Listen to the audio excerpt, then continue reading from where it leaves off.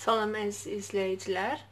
Bu gün Dövlət İmtahan Mərkəzinin e, keçirdiyi 2 iyul 11-ci sinif buraxılış imtahanının həm sualları, həm də izahları ilə sizin qarşınızdayıq. Sualların izahını keçid alıram. Birinci sualımız üslü funksiyaya aiddir, üslü tənliklərə aiddir. Belə bir tənlik verilibdir. Deyir bu tənliyi həll edin. İndi görək bunu necə həll edirik? 2 üstü x üstəgəl 2-ni olduğu kimi yazmalıyıq. Bərabərdir. Uşaqlar 16-da 1 yazılıbdır burada. 16-da 1, 1 bölünsün. 16 biz bilirik ki, 2 üstü 4 deməkdir. Bunu 2 üstü x üstəgəl 2 bərabərdir. Əgər məxrəcdəsə, qaldırıb sürətdə yazmaq üçün 2 üstü mənfi 4 yazmalıyam.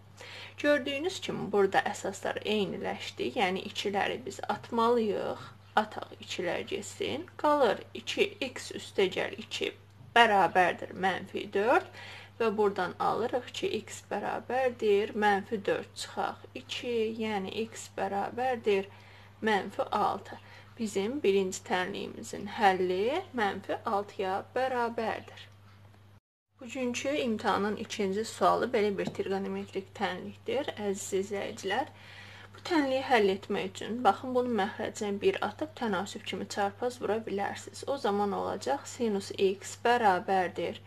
Kotangens 17 dərəcə vurulsun kotangens 73 dərəcə.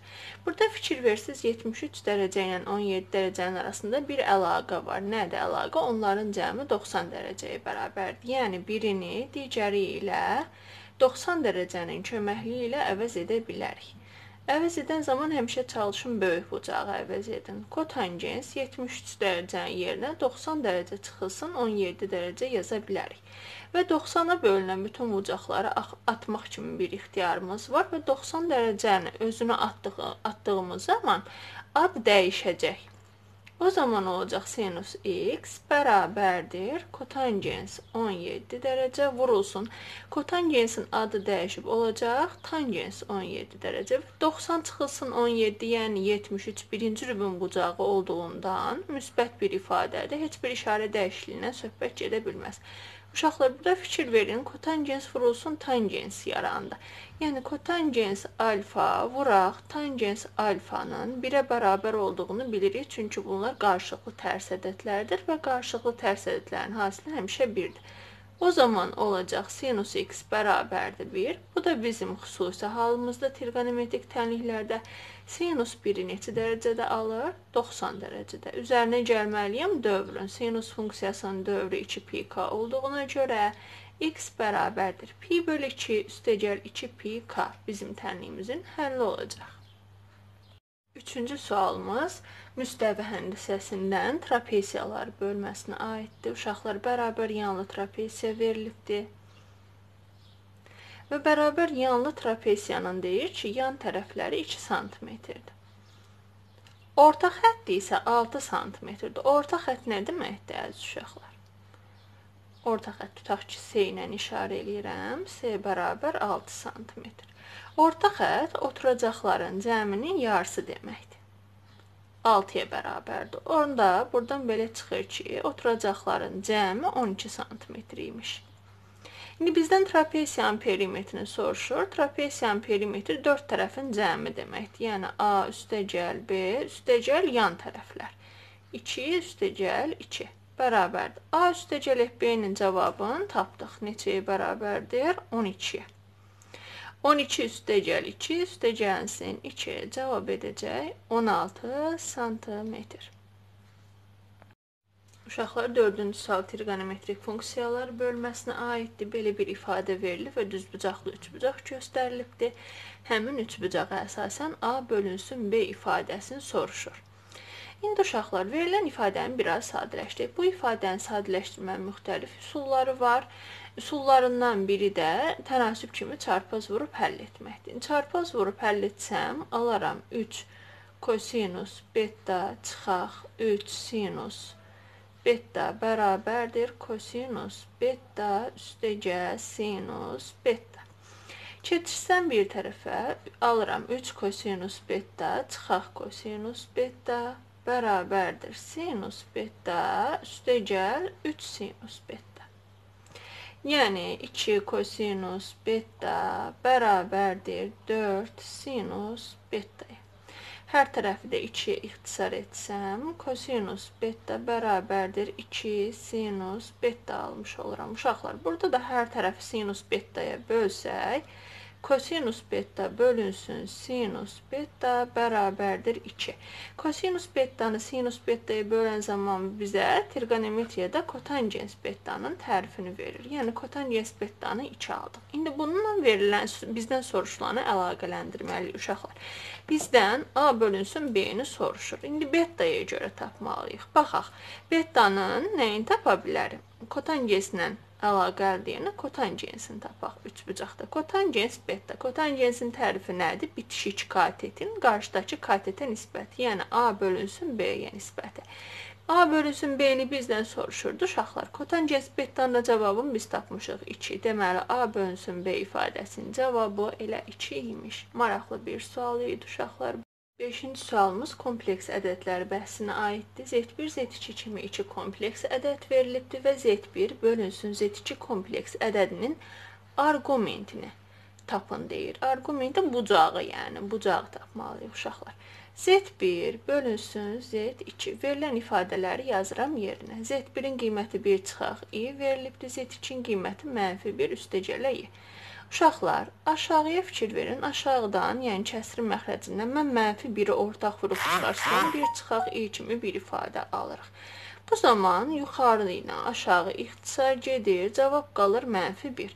Yəni kompleks ədədi mənfi 1 formasında aldıq. Mənfi 1 olmaq bunun mənfi 1 üstə gəlinsin 0 vuraq i şəklində olmağıdır. Yəni bunun x-i, yəni həqiqi hissəsi mənfi 1, Xəyali hissəsi isə 0 deməkdir. Bu da hara düşür? Ədəd oxunda. Gəlin göstərək, daha doğrusu koordinat oxlarında. Bu x oxudu bildiyimiz kimi, bu y oxudu.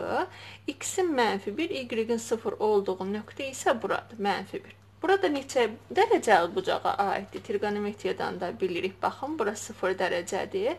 Bu hissə 90 dərəcədir. Buradakı bucaq 2 dənə 90 olduğuna görə olacaq 180 dərəcə. Deməli bizdə arqument pi-yə bərabərdir. Yəni 180 dərəcəyə. Testimizin cavabı 180 dərəcə olacaq. 6-cı sualımız loqaritmaya aiddir. Loqaritmada belə bir sual verilib. LC 81 bölünsün LC 36 çıxaq LC 4. LC 10 əsasdan loqaritma deməkdir və əsaslar eyni olub arada çıxma olarsa, biz bunu bir əsasdan yazıb bölməyə çevirə bilərik. Yəni 36 bölünsün 4 yaza bilərik. O zaman nə olacaq? LC 81 bölünsün LC 36-nın 4-ü bölən zaman 9 bərabərdir. Uşaqlar indi 81 ilə 9-un arasında əlaqə yaradıb. Bu LC 9-un kvadratı yaza bilərsiniz 81-i aşağıdakın olduğu kimi saxlayıram. Bərabərdir. Burada qüvvət yarandı. Bilirik ki, loqaritmada bu qüvvəti qarşıya keçirdə bilərik. O zaman olacaq loqaritma 2 loqaritma 9 10 əsasdan bölünsün. Loqaritma 10 əsasdan 9 və ixtisarlarımızı edirik. Testimizin cavabı alınır 2 Silsilələrə aid çox maraqlı və fərqli bir, e, bir sual düşübdür. Əziz uşaqlar, A5 üstəgəl A7 bərabərdir 51 çıxaq A2 verilibdir və ədədi silsilənin ümumi formulu da AN bərabər 3 üstəgəl K çıxaq 2 vurulsun N şəklində verilibdir. K üstəgəl D-ni soruşur. Burada yəni məchulların çoxluğu sizi qorxutmasın. Silsilənin həllinin yeganə üsulu orada verilənlərin açılışını yazmaqdır. Əgər ədədi silsilədirsə A5-in yerinə nə yazacaqsınız? A1 üstəgəl 4-dir. A7-in yerinə A1 üstəgəl 6-dir. Bərabərdir. 51 çıxaq A2-in yerinə A1 üstəgəl D yazmalıyıq. İndi A1 A1-ləri və D-lərin hamısını bir tərəfdə e, yığım mən.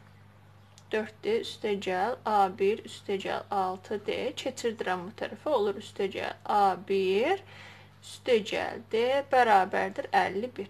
Oxşar toplananları toplayaq. Neçə A1 edəcək? 3A1 üstəgəl D-ləri də toplasam 11D bərabərdir 51 olmuş olacaq. Burada da heç nə ixtisar getmir deyə nə olduğu kimi hələ ki saxlayıram.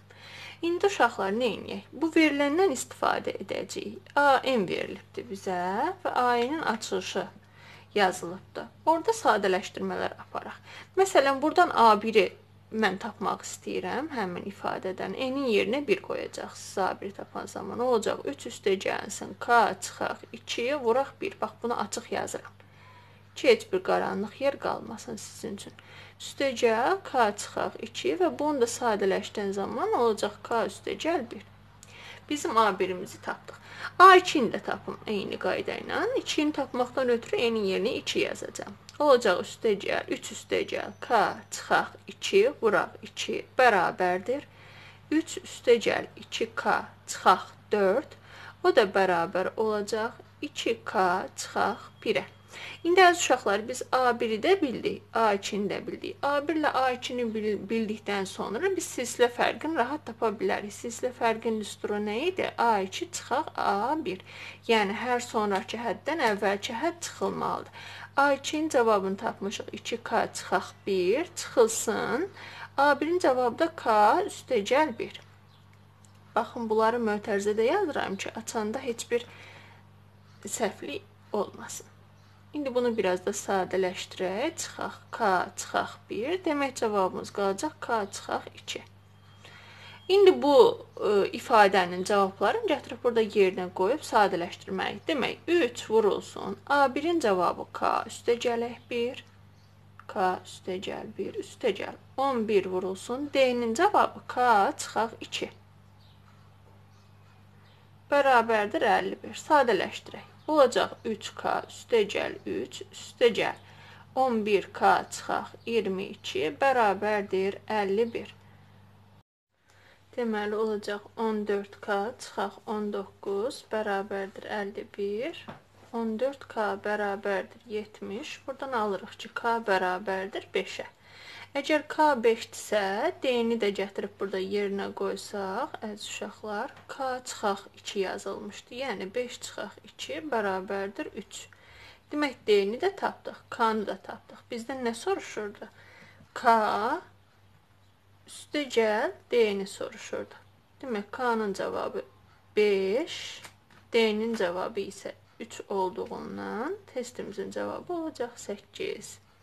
Bu nisbətən çətin sual idi əziz uşaqlar. Yəqin ki, bunu yazanlar az olacaq. Deməli, 8-ci sualımız kvadrat funksiya ilə əlaqəlidir. Deyir ki, kvadrat funksiyanın qiymətləri həmişə mənfi qiymət alması üçün B-nin ala biləcəyi qiymətləri tapmalıyıq. Demək, e, bu parabola paraboladır, qrafiki paraboladır və gördüyünüz kimi x kvadratın əmsalı mənfi olduğundan qollar aşağı yönələn paraboladır və qollar aşağı yönələn parabola müxtəlif yerlərdən keçə bilər, amma cavablar həmişə mənfi olsun deyə apsis oxundan aşağıda yerləşməlidir. Apsis oxundan aşağıda yerləşmək, o demək ki, apsis oxundan heç bir ortaq nöqtəsi yoxdur. Yəni bunu tənlik kimi baxsam, bunun həlli yoxdur. Həlli yoxdur, yəni diskriminant mənfidir. Bunu nəzərə almalıyıq. Yəni biz birinci diskriminantı tapmalıyıq. Diskriminantın düsturu nədir? b kvadrat çıxsın 4ac və kiçikdir 0 qoyub bərabərsliyi həll etməliyik. b-nin yerində burada durub b çıxaq 4 ifadəsi. Yəni b çıxaq 4-ün kvadratı çıxılsın 4 vurulsun. A-nın yerində mənfi 1 dayanıb, C-nin yerində mənfi 9 dayanıb. Kiçikdir 0. Burada uşaqlar mənfini qoymağa ehtiyac yoxdur, çünki kvadratı elə müsbət edəcək, ona görə yazmadım. Bunu açıram. Olacaq b kvadratı çıxaq 8b, üstə gəl 16. Bu ifadələrdə bir-birinə vursaq, olacaq çıxaq 36, kiçikdir 0. Yəni b kvadratı çıxaq 8b, çıxaq 16. 22-dir 0 vuruqlarına ayırsaq, mən V-yə görə vuruqlarına ayırıram, yəni B kvadratın B ilə B. 20-ni də mənfi 20-ni elə 2 ədədin hasili kimi göstərməliyəm ki, vuranda mənfi 20 e, toplayan zaman mənfi 8 etsin. Yəni, 10-dan 2 olacaq, 10-un işarəsi mənfi, e, 2-in işarəsi isə müsbət olmuş olacaq. Bu zaman vuruqlarımız B çıxaq 10, 10. B üstəgəl 2 kiçikdir 0 olur. Ədəd oxu çəkirik uşaqlar. Ədəd oxu üzərində bu bərabərsliyimizin köklərini, yəni sıfıra çevirən ədədləri qeyd etməliyik. B çıxaq 10 ifadəsində B-nin yerinə 10 qoyan zaman sıfıra çevrilir. B üstəgəl 2 ifadəsi isə B-nin yerinə mənfi 2 qoyan zaman sıfıra çevrilir. Və biz intervallasaq, işarəni təyin etsək, ondan böyük bir ədəd göstərsəm, Məsələn 11, 11-i bura qoyan zaman müsbət, 11-in üstünə 2 gələn zaman müsbət və müsbəti müsbətə vuran zaman müsbət olduğundan bu intervalın işarəsi müsbət. Digərləri də davamlı olaraq ardıcıl gedəcək müsbət, mənfi, müsbət formasında və bizdən sıfırdan kiçik olan yer tələb olunduğundan, yəni mənfini hara qoymusunuz, o yer tələb olunduğundan cavabımız olacaq mənfi 2, 10. Açıq interval. Demək testimizin cavabı mənfi 2, 10 intervalı olmuş olacaq. Əziz şagirdlər, 9-cu sualımız fəza məsələsidir. Silindrə aid bir məsələdir. Deyir, silindrin ox kəsiyinin sahəsi oturacağın sahəsinə bərabərdir. İndi bu şərti tam yazaq. Ox kəsiyini dedikdə burada işarə elədiyim düzbucaqlı nəzərdə tutulur və düzbucaqlının sahə, sahəsinə görə iki eri haşı, haşa vurmalıyıq. Bərabərdir. Oturacağın sahəsinə, oturacaq da dairə olduğuna görə pi r kvadratına bərabərdir. Burada hər tərəfi r-lərə ixtisar edib h-ı tapsam, h-ın cavabını alaram pi r bölünsün 2. İndi bizdən soruşulandan fikir verək. Tam səthinin sahəsi oturacağın sahəsindən deyir neçə dəfə böyükdür. Bir ifadə digərindən neçə dəfə böyükdür? Bunu tapmaq üçün birincini ikinciyə bölmək lazımdır. Tam səddi bizdə düstur necə idi? 2 PR er kvadratı var, yəni 2 dənə oturacaq. Bir də S yan var. S yan da 2 PR er H-dır. Oturacağı sahəsi bir oturacaqdan söhbət gedir. PR er kvadratdır. Bərabərdir. Bura fikir verin. 2 PR olduğu kimi yazam. H-ın qiymətin yerinə qoyuram. H-ın qiyməti PR bölünsün 2-dir. Bunun yerinə yazdım. Məxrəci olduğu kimi saxlayıram. Bərabərdir. İndi biraz sadələşmə aparacağam. Oldu yuxarıda 2πr kvadratı üstə gəl. Burada 2-lər ixtisar gedir. Qalır pi kvadratı r kvadratı. Məxrəcdə də pi r kvadratın olduğu kimi yazdım. Yuxarıdan demək mən nəyi çıxarda bilərəm ortaq vuruq? Pi-ni çıxarda bilərəm. Bir də r-in kvadratını çıxarda bilərəm. O zaman qalacaq 2, burada 2 qalır. Burada da pi qalır. Məxrəcdə pi r kvadrat. İndi burada pi r kvadratlara ixtisar gedəcək. Cavab qalacaq 2 üstə gəl pi. Demək neçə dəfə böyükdür? 2 üstə gəl pi dəfə böyükdür. Əziz şagirdlər. 10-cu sualımız kvadrat köklərlə əlaqəli bir misaldır uşaqlar. Bura fikir verin, bunu necə həll eləyəcəyik? Rahat həll etməkdən ötürü biz bilirik ki, bir kökün altında vura bilərik, bir də bölə bilərik. Ona görə də kökün dərəcələri eyni olduğuna görə mən 99 ilə 44-ü bir kökün altında yazdım ki, rahat hesablayaq. 4 3 olduğu kimi yazıram. 94 ilə 40, 99 da 44 hər ikisi 11 ixtisar gedir. Yuxarıda qalır 9, aşağıda yuxarıda qalır 4, aşağıda qalır 9. Bərabərdir. 4-də 3 vurulsun və 9-da 4-dən də kök çıxacaq. 3-də 2. Burada da ixtisarlarımız gedəcək. Testimizin cavabı qalacaq 2-də 1. Onluq kəsir kimi göstərmək lazım olacaqsa 0 tam 10-da 5. Belə əziz şagirdlər, bugünkü imtahanın 10 sualını yazdım və növbəti sualları da yazacağam. E, testlərdən imtahanlardan xəbər tutmaq üçün kanalımıza abunə olub bizi izləməyi unutmayın.